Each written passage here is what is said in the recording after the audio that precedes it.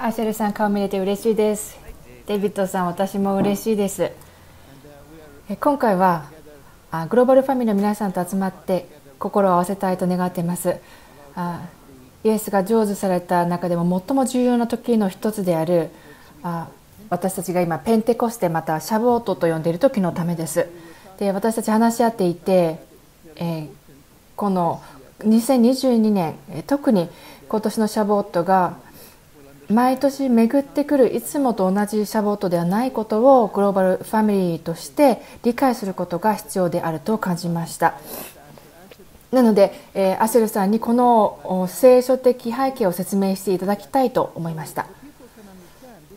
で人々がこれがあユダヤの霊祭であるだけではなく終わりの日のために主が定められた時であるということを理解していただきたいと思っています。です。アシェルさん背景を説明していただけますか？デイビッドさん素晴らしい導入でしたね。シャボットというのはもちろんイスラエルの民が初めの収穫を持ち寄る農業の祭りとして始まったものです。新しい契約の時代になると素晴らしいことが起こったわけですね。歴史上でも最大の出来事の一つ。もしかするとイエスシャの死と復活を除いたら最も偉大な時であると考えられる出来事です。精霊がえー、イエスヤの最初のコミュニティであった弟子たちに注がれました。で基本的にガリレアのユダヤ人たちであったわけなんですけれども彼らがこの農業的な初穂の祭りを霊的にも祝うということが起こったわけです。信仰のコミュニティが形成されていったわけです。で私はこのことを何度も何度も何十年もでしょうか40年ほど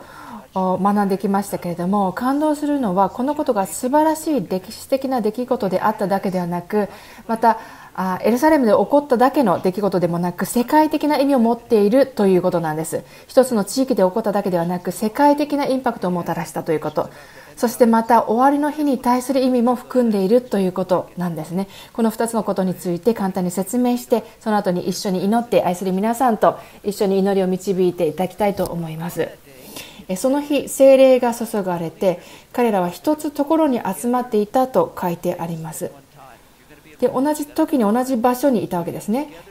地理的に時間的に一つとされていたということなんです。で一つとなる出来事のためにはもちろん使徒的使徒2章1節に書いてあるように同じところに集まっている必要があったわけですね。で2つの興味深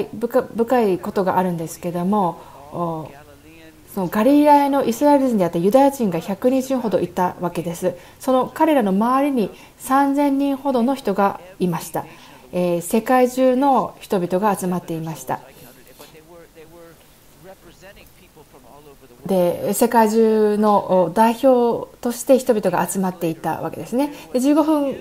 後になったら今度は大勢の人々が集まってきて2万3000人ほどの人々があそこに集まったわけです。世界的な拡大が即座に起こったということなんです。でアラブ人も含まれていましたしユダヤ人の回収者などもいました。つまりエルサレムで起こったその最初の出来事から国々全体も含まれていたということが素晴らしいです。エルサレムから発して世界中に広がったんです。でイエスは世界中に福音を述べ伝えなさいと語られましたけれどもペテロが立ち上がって、えー、何が起こったかということを説明した時に素晴らしかったんですね。ヨエル書から引用してこう言いました、え、これこそ預言者ヨエルが語ったことです。ヘブル語で言います。ペテロもヘブル語で言いましたから。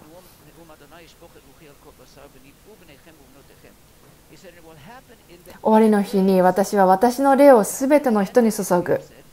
息子娘たちは予言すると言ったわけです。これは2000年前のに起こったことでしょうか。もちろんそうですね。国々の人々もそこに集まっていました。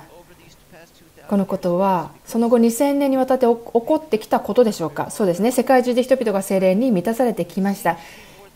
えでもそれ以上のことを語っているようです。これから起こることとして語っているようです。私たちがイエス・シュアの再臨に近づくにあたり、まあ、出来事というよりムーブメントとしてですねえ私は注ぐ終わりの日に主の大いなる恐るべき日が来る前に私は私の霊を全ての人に注ぐと言ったんです。ですからここにはパターンがあるわけで使徒2章で見られることがありますけれどもそれが倍増して世界中に拡大してそれがある頂点まで達していくということなんです。それがさらに大きなことである可能性があるということなんです。でもう一つ言いたいのは私たちが一致するというのなら、まあ、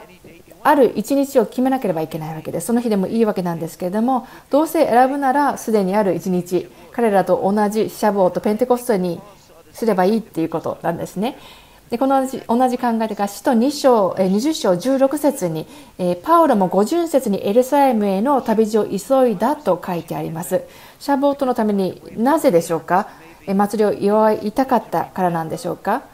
以前に起こったことを思い起こすためでしょうか？彼自身はその日には居合わせなかったわけですけれども。でも私が思うにそれ以上の意味があると思います。彼は予言を見て祈るために急いだんです。この大いなる注ぎのためにそれが次の年なのか10年先なのか1000年先なのか分からなかったけれどもそこで祈りたいと願ったわけです。ですから私たちは最初のペテロに倣ってパウロに倣って私たちも同じようにこの同じ日にグローバルファミリーとして祈っていくことを選びたいと思うわけです。ですから霊的ファミリーであるグローバルファミリーの皆さんにぜひ私たちはお勧めしたいと考えました。この同じ日にペテロとパウロがそうしたように、えー、この、えー、終わりの日に全ての人に主の霊が注がれるということがこの日に起こるのだということを信じてそのことを望んで希望を持って祈っていきましょう。ハレルヤ。アシェルさん今あ聞いたこと素晴らしいことですね、えー、美しいことです。私たちに思い起こさせてくれます。使徒の2章1節をあなたも読んでくださったんですけどもそこに一つところに集まっていたと書いてありますよね、えー、同じ場所に実際にいた。また、えー、もう一つの意味としては霊的に一つとなるということも意味すると思います。ですからこの終わりの日に全ての人に霊が注がれるということを私が思う時にえそのことに対して私たちは今物事が加速しているそのような時に置かれています。今とても重要な準備の時に私たちは置かれていると感じます。花婿をお迎えする準備の期間、え今世界がより動かされているということを経験していますけれどもそれはなぜかというとより動かされることのない神の国が現れる現れるためです。私たちのうちに現れるためです。新しく精霊の火と精霊の大胆さが注がれるということが私たちに必要です。主は私たちをこの過去2年間の間準備してくださったと思います。違法人としてグローバルファミリーとして神の時間のタイムテーブルに沿って歩むということができるようにと整えてくださいました。私たちは2度ペンテコステを今祈ってきました祝ってきましたけれども、えー、今回は Zoom で一つに集まるのではなくてぜひ今度はそれぞれの家族で集まってそうしてほしいんですね、え遠く離れて住んでいる人たちでもまた教会でもミニストリーでも家族としても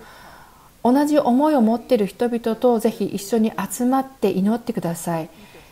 えー、ペテロが語ったこのことの成就のために祈ってください。ヨエルが予言したこと。そのことが成就するというよりもその時に起こったのは始まりだったわけですね。私たちは今この時にその倍増を増加を見ていくわけです。今年もそうです。次の年もさらに次のレベルです。栄光から栄光へと進んでいくというわけです。ですから皆さんもぜひ、えー実際に集まってください。Zoom で集まるだけではなくて実際に集まってください。グローバルファミリーとして Zoom をすることは今年はしませんけれども、えー、この同じ日に皆さんがぜひ、えー、家族と一緒に集まってそうしていただきたいと思うんです。この主の霊の注がれることを望んで祈りたいんです。でこのことを皆さんにやりましょうと励ますだけではなくそれ以上に伝えなければいけないというふうにこの重みを感じています。約束と予言の成就の時として。私たちがあの今回はお顔を見ることができないのは残念なんですけども私は実際は韓国のにいて韓国のファミリーと一緒に集まるんですけれどもぜひこの日を見逃さないでいただきたいです。6月の4日と5日です。夫婦として子どもたちと一緒に教会と一緒にミニストリーと一緒に、えー、どのような形であっても心を一つにして霊を一つにして一致して集まってください。そしてこう言いましょう。主よさらに次のレベルでこのことを見たいです。解き放たれることを霊が解き放たれることを見たいですと求めましょう。デイビッドさん使徒の2章5節に書いてあるのは敬虔なユダヤ人たちが天下のあらゆる国から来て住んでいたって書いてあるんですけれども、え皆さんも今その状態にいるわけです。過去もそうでした。今もそうでした。でも私たちが先に進んでいくにあたって将来もそうであるということ過去も現在も将来もそうであるということを覚えてください。私たちは素晴らしいこの予言の成就の時に近づいています。心を一つにしてそうしています。この数分間このように皆さんとシェアすることができること。エジプト人としてユダヤ人として私たちはこのように集まってシェアすることができて本当に嬉しく思います。主が倍増させてくださることを私たちは見ていきます。皆さんを心から愛しています。またお会いすることができるのを楽しみにしています。さようなら。